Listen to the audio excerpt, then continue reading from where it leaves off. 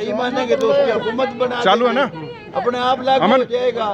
और अगर रिजेक्ट हो गया गौतम जी गौतम जी बबली बबली भी क्या गए चला जाएगा। क्या दिक्कत है यानी ना आप किसानों के लिए कुछ कर पा रहे ना हल्के के लिए कुछ कर पा रहे किसानों के लिए भी आप साथ नहीं खड़े हो पा रहे। यार माइक नीचे करो नीचे करो यार। मुँह तो दिखने दो भाई। तो कोई आप खड़े हो क्या? गौतम साहब। तो और कौन खड़ा है हरियाणा कल का जो मुद्दा है मैंने कहा है क्या होगा कल का मुद्दा? हाथ मुद्दा है कोई मेजोरिटी की बात नहीं कुछ नहीं। कैसे हो, हो जाएगा। नहीं आपका क्या स्टैंड रहेगा सर?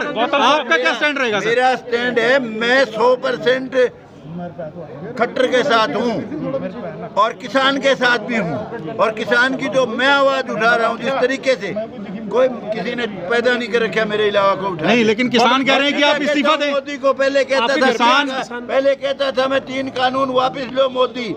और किसानों से बात करो उनसे मिलके और सही नए कानून बनाओ क्योंकि मंडियों में भी किसान का भला नहीं हुआ है।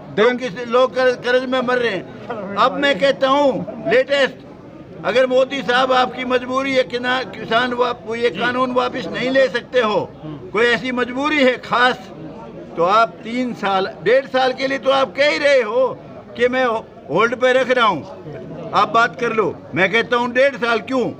आप तीन साल दो महीने के लिए जब तक नेक्स्ट इलेक्शन आता है तब तक होल्ड पे रख लो। किसान आपके घर गए थे। देवेंद्र बबली ये कह रहे हैं कि दुष्यंत चौटाला समेत सभी विधायकों को समर्थन वापस लेना चाहिए। देविंदर बबली की बात देविंदर बबली से पूछो मैं राम कुमार गौतम हूँ मेरी बात मेरे से सर किसान आपके घर गए थे। मैं कोई ऐसी बात नहीं कहूँगा जो मैं पूरी नहीं कर सकूँ मैं वो बात कहूँगा जो मैं पूरी कर सकूँ।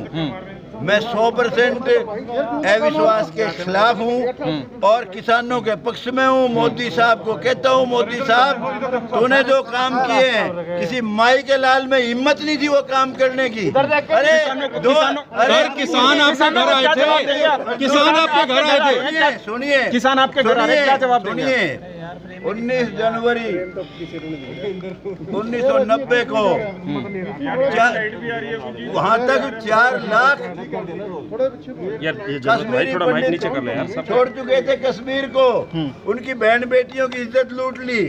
उनको घर छोड़ने पे मजबूर कर दिया बेचारों का सब कुछ लूट लिया। सर मसला किसानों का है।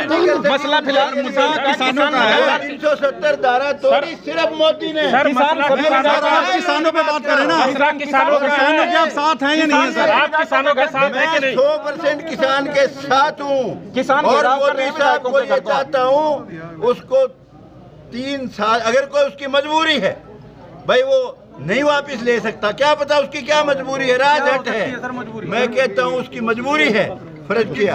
तो क्या पता मुझे क्या किसान- सरकार का कानून है मोदी सरकार का। हरियाणा का नहीं है।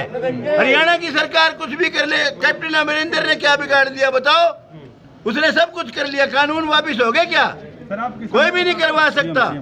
मैं दिल से किसान के साथ हूँ क्योंकि किसान घर में परवरिश हुई मेरी उसी में पैदा हुआ हूँ। और किसान के लिए जो कर सकता हूँ वो थोड़ा है।